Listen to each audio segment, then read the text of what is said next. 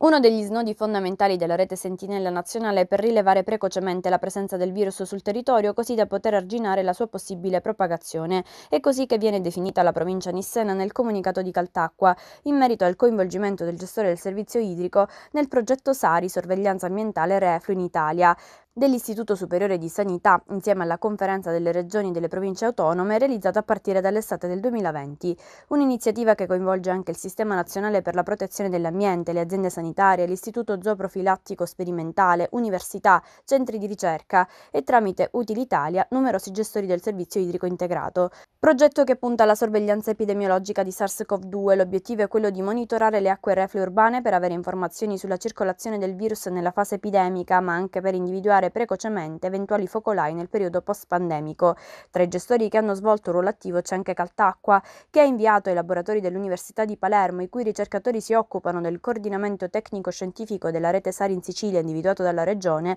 i campioni in ingresso, prima ogni 15 giorni e poi ogni settimana, prelevati dai depuratori di Contrada Cammarella a Caltanissetta e di Contrada Macchitella a Gela.